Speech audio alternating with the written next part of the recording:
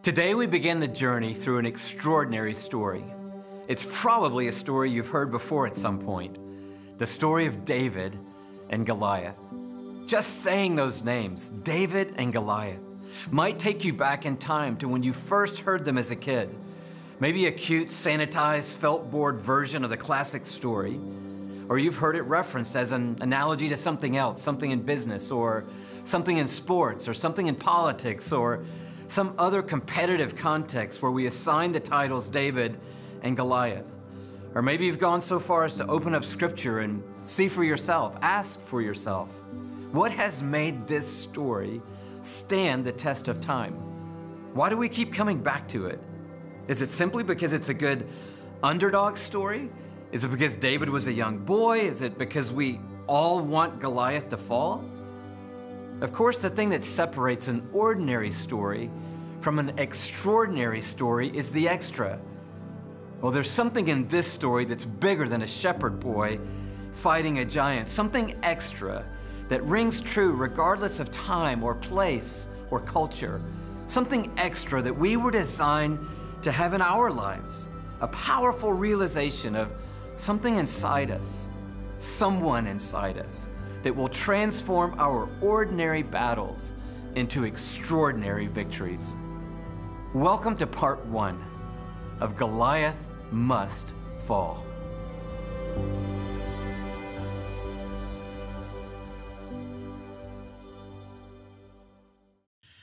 Well, I want to welcome everyone to the Goliath Must Fall study. And this is a fantastic group that we have got here today. And we're also joined by people all over the world right now. And I just want to say thank you to all of you who are participating in the Goliath Must Fall small group study. You may be in a home or a church or a dorm or an office somewhere in the world. And thank you so much for letting us come into your space today. And thanks for joining us in our space today. I really believe in the power of the moment.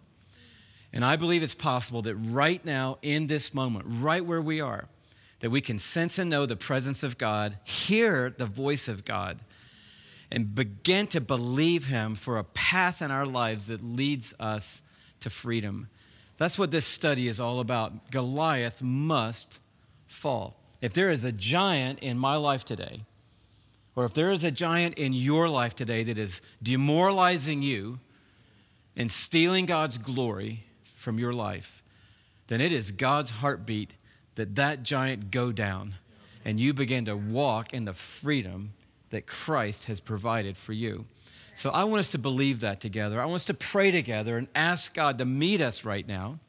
So there's not just a guy talking about a study, but it's God opening our eyes to see what Christ has done for us in giving us the courage, the faith to believe Him today and to step into what Christ has done for us. So, will you guys, uh, wherever you are, will you join us as we pray right now? And let's just invite God into this moment with us. Father, thank you for the power and the potential of any moment that you are a part of.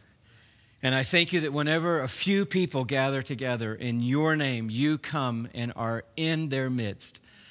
So, Jesus, that means that you are with us right now, that you are in our midst as we share these moments together.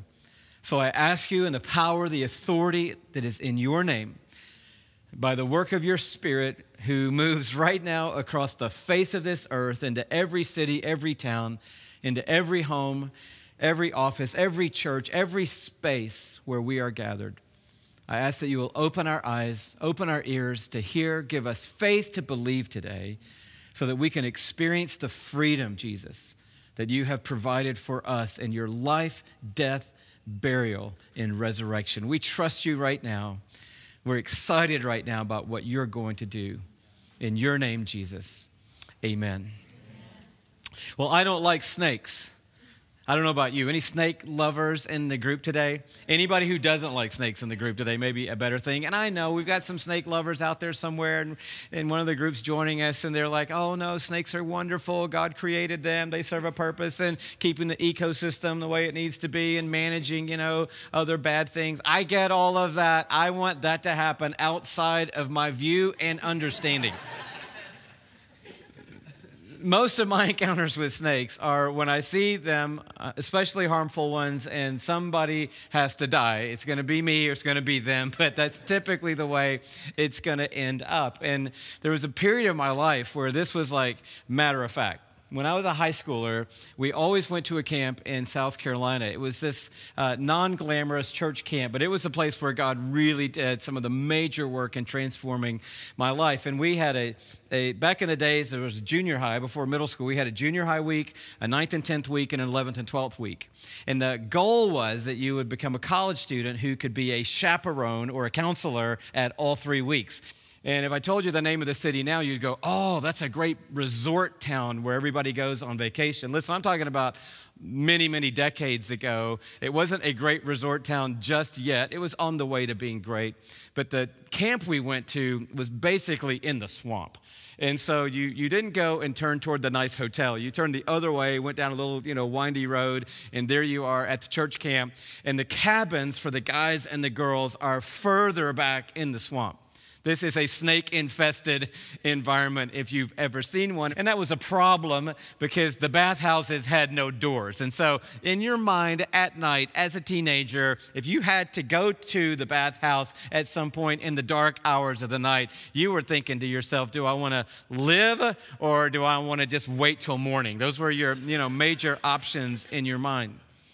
Well, we were on snake patrol all the time, but on the weekends, we would put lime around all of the the cabins to try to keep snakes out, and especially in the girls' area. And I remember one year a snake had gotten very close to a girls' cabin, and the guys, you know, we took that on ourselves to say, man, we are going to be the savior of the girls' cabins. And so on the weekend between the 9th and 10th and the 11th and 12th weeks, we went out on a snake hunt. Now, we were not snake hunters, but, you know, we were ingenious in our own way. So we got baseball bats, we had our tennis shoes on, we knew snakes like to get moving around dusk. So at dusk on the Friday night, we started walking out into the grassy area between the softball field and the girls' cabins. I'm saying the grass is maybe 10 inches tall. We are in snake infested area with a baseball bat. You're like, why do you have a baseball bat? Because that's what we're going to use to kill the snake. So when you would see the snake, you would quickly identify it. You wouldn't yell or panic. You would just say, snake.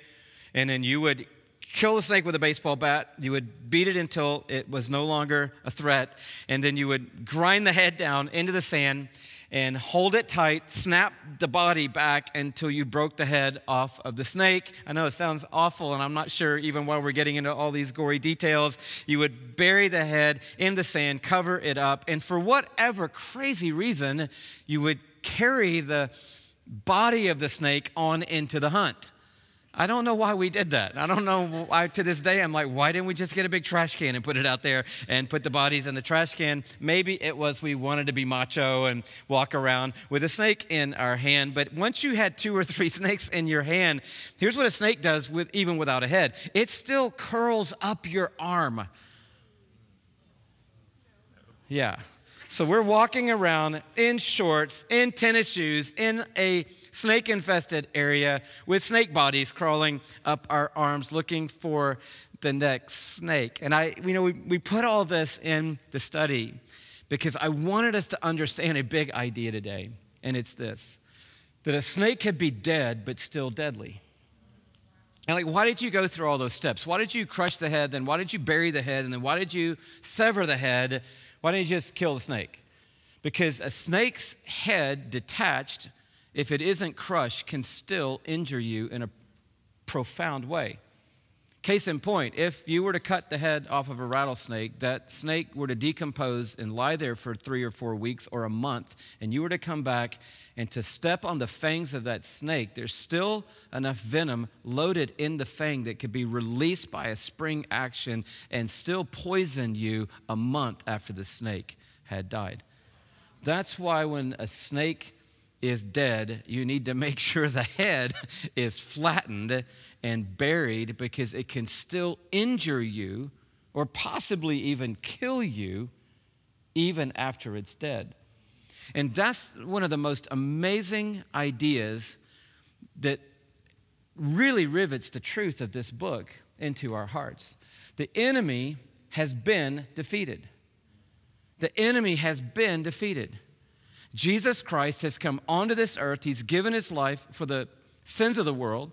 He's dead and buried, raised from the dead to defeat the power of the enemy, the power of darkness. And so Jesus himself has come to finish a work. But the reality you face and the reality I face is that even though Jesus has defeated the enemy, the enemy still has power to destroy our lives. If we make a misstep, we can put ourselves in danger of being injured by the deceptive power of the enemy. And so we're living in a now and a not yet now reality, a moment where victory has come, but yet where we're still up against a spiritual battle. The scripture says, Submit yourself to God, resist the devil, and he will flee from you. So there's still a battle to be waged. Resist the devil, but if you do resist the devil, guess what? He'll flee from you because Christ has given you ultimate power and victory over the plans and the schemes of the devil. So, what is Goliath Must Fall all about? It's about this premise that Jesus has defeated the giants in our lives and opened a way for you and me that we can walk in the victory that Christ has provided for us. Now, the interesting thing about this book is that a lot of people look at it and go, man, I need to get that for my friend because they have a giant. We talk about five major giants in the book. We talk about addiction, we talk about the giant of rejection, or the flip side of that, which is approval. We talk about the giant of fear. We talk about a giant that a lot of people don't really even think about called comfort, which is a real sneaky giant that can slip up on us in our walk with Christ and steal away everything God had for us. And when you talk about some of these giants, people go, Oh, my sister needs this book, or my brother needs this book, or my neighbor needs this book. And on first glance, a lot of people say, Well, I don't really have a giant in my life. And I find it's kind of one or the other. A lot of people are like, No, I already knew my giant before you started talking. Know exactly what's demoralizing me, what's terrorizing me in my life. And other people kind of wade in and go, I don't think I have a giant. But it's been interesting as people have read the book, the more they've read, the more they've realized there are things in my life that are stealing away my joy and stealing away God's glory in my life. The enemy is dead, but he's still got a hold on me. Jesus has defeated Satan, but in the same breath, Satan is still tormenting me. And so we want to ask in this book how can we step into the power of what Christ has accomplished for us? And there are two big ideas I want to talk about tonight. There's several big ideas that set the book up. I think and set the story of David and Goliath up in a brand new way, but there are two big ideas tonight. And the first one is this, and this is going to be a game changer for somebody because almost all of us, I'm guessing, have heard the story of David and Goliath.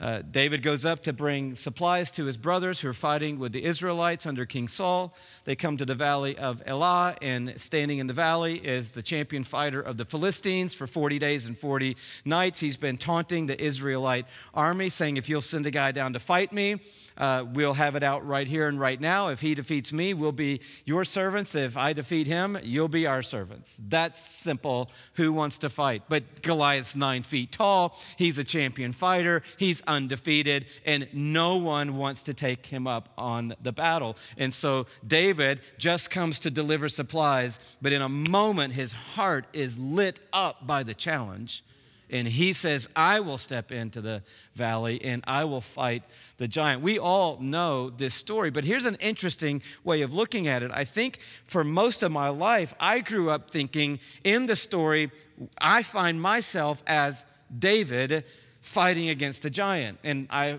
had that reinforced all my life growing up. I'd go to that same youth camp, and a speaker would say, Well, if David was only a boy and he went out with just a sling and five stones and he fought that big giant, then you can fight your big giant too. So get your five stones and get your sling and get out in the valley and believe in God and win a great victory in your life. And so I would recommit one more time to being a giant slayer in my life. I would do all I could try my hardest, do my best to fight against this thing that was terrorizing me in my life and stealing away God's glory from my life. But I wasn't successful ultimately in defeating all the giants in my life. And that's because I'm not David in the story of David and Goliath. And you're not either. You're like, what? that can't be true. I believed all my life I was David. I've been little David fighting up against big Goliath and the power of God all my life. How can you say we're not David? Here's how because every story in Scripture ultimately points to Jesus. See, all of Scripture points to the person of Christ. And so you have to ask in every story, where is Jesus in this story? You're like, well, Jesus isn't in the Old Testament. He's in every story in Scripture. And so, where is he in the story of David and Goliath? He is the giant slayer in the story of David and Goliath. The story is setting up a greater battle, not one between a little boy and a nine foot tall warrior. The story of David and Goliath is setting up the ultimate battle when Jesus steps onto planet Earth and takes on death, hell, sin and the grave and all the power of darkness and says, In the name of my Father God Almighty, you are going down. And he does it by his own choice to submit his life as a payment for the sins of the world, to break the power of sin, and to speak truth that destroys the deception of the evil one in our lives. And so he is David in the story of David and Goliath. He's our champion. He goes out to fight. We stand in amazement as he takes down our giants, and then we do what the Israelites did. We cheer like crazy because he's taken the head off of our enemy. Now that head is still talking. Anybody want to say uh-huh to that? That head is still talking. And if you step on it, it can still wound you. But the enemy has been defeated. Jesus has done the work. And we champion him as the fighter in our story. So this series isn't going to be at any point about you trying harder. This series is never going to turn to, so now you need to dig down real deep and give it everything you've got and muster all the strength you can to defeat that addiction or that behavior or that attitude that's been plaguing you all of your life. Anger is one of these giants. And how can an angry person kill the giant of anger? We need an anger slayer in our world, and his name is Jesus. The second twist that I think is powerful for all of us to grab right from the beginning is this that David wasn't just motivated by his safety and his freedom. David didn't just come to this valley and say, Wow, we, the whole army's shaking in their boots. Wow, I, I, I could be threatened by this giant as well. If things go bad today, I might get swept up in the defeat. That wasn't what motivated him. He didn't say, I'm afraid, so I've got to go fight. I want to be free, so I've got to go fight. What motivated David has got to be the same thing that motivates me and motivates you, and it is the glory and the fame of God. We know from Scripture that even when David was a boy tending his father's sheep, he would play on his instrument and sing songs of praise to God. He, at a very young age, had a special relationship with God, an intimate relationship with God where he knew, he wrote probably as a teenager, Who am I when I consider the works that you have done? He was able to see the universe and know that the God who'd made it all somehow knew who he was and he walked with that God, had a relationship with that God. He, in the power of the Spirit of God, said, One time a bear came against the sheep, and I killed the bear. One time a lion came and grabbed one of the sheep of my father's flock, and I took my rod and I killed the lion. But he didn't say, I did it. He said, God's power in me did it. He said, I know God who created the universe. I know a God who gives men power to do supernatural things. I can take down this giant in the power of God. But here's why. He said, I want to take him down for the fame of God, in the name of God. And do you know what he said to Goliath? He said, You come at me with a spear and with a javelin and with a sword, but I come at you in the name of the Lord Almighty, the God of Israel, whom you have taunted. Something switched in David that hadn't switched in a man on that hillside. And you know what it was? God's glory is at stake right here today. This isn't just two armies fighting, this is God's glory at stake. And you're going down because our God is the only God. And unless that happens in you and me, I don't think we're ever going to really be free and walk free of the giants that intimidate us, demoralize us, terrorize us every day of our lives. I think we're going to accommodate things that kill us and kill the people around us. We're going to stunt our growth and never fully become what God wants us to become. Because at the end of the day, it ultimately was about us. I want to be free, but I don't want to be free that bad. But it has to switch to I do want to be free, but I want God to get glory. And can I just ask this question? This is a little bit pointed. Is God getting glory in your life right now? Or is there a giant that's got its foot on our neck? And because of it, the people around us don't see God in our lives. And if they don't, newsflash, they don't care what we say. They're just watching how we live. And if I can link those things together, I do want to be free.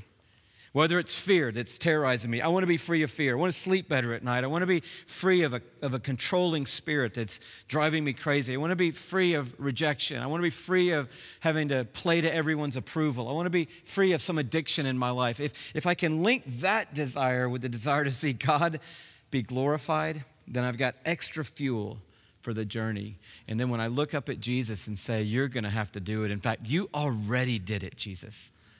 Show me how you can do it in and through my life right now. You know, the enemy's dead, but he's still deadly. His power is broken, but he's still talking. And Jesus is going to show us in these next few weeks together how to stop listening to him and start walking with Christ. And when we do, we're going to experience the power of God in our lives. Goliath must fall. He must fall. Why? So that Jesus can be seen in our lives as the true Savior and the true deliverer of the world.